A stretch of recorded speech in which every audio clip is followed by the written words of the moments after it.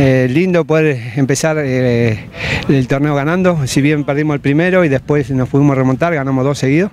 Yo el anterior no pude estar por temas laborales y hoy pude venir y, es lindo ganar, ganar y jugar bien. Y de a poco nos vamos, nos vamos asentando con, con el equipo. Yo hacía 3, 4 meses que no estaba entrenando, no estoy entrenando por tema de primero de lesión y después eh, laboral y la verdad que es lindo empezar a agarrar ritmo. Primero cuesta, pero bueno. Bueno, es un torneo largo igual. Sí, larguísimo. Aparte estamos jugando la FUECOM con el mismo equipo. Estamos jugando, yo juego en 35 del mismo equipo y en 43. Tenemos partidos eh, toda la semana. Tenés, ritmo, por lo menos. No estás entrenando, pero tenés ritmo, ¿no? Sí, trato de mantenerme. No estoy entrenando lo que es eh, fútbol, pero sí trato de meterle gimnasio, estar siempre activo para, para poder jugar. El partido siempre contra Cultural es un partido, sale un partido cerrado y bueno, eh, fue un tiempo para cada uno, me parece. Estamos con un hombre menos y quiera o no, esta cancha es chica y igual hacía un desgaste y se sintió. Hoy te tocó en tu posición.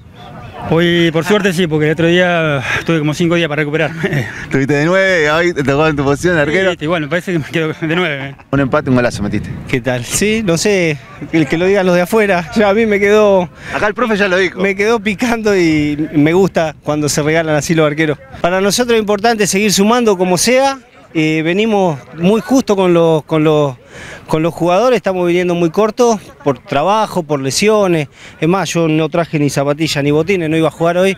Y bueno, para darle una mano a, los chicos que eran pocos, estaban cansados, me, cambié. A veces damos todo, decimos que gracias a, esta pasión que nos mueve el fútbol eh, eh, podemos seguir disfrutando un poco el aire libre, si no estaríamos encerrados en cuatro paredes haciendo la vida adulta que ya somos, ¿no? Yo, tengo 46 años ya. Eh, eh, para mí este es, un, este, este es un cable a tierra y hay que aprovechar los, los pocos minutos que nos quedan en cancha este, al máximo. Con, los nervios del debut, un equipo bastante nuevo, vinimos muchos jugadores, muchos jugadores eh, nos sumamos ahora en la pretemporada. Y bueno, bien, dio resultado, arrancamos a mediados de enero con la pretemporada, eh, muchísimo esfuerzo, muchísimos días de 38 grados de calor.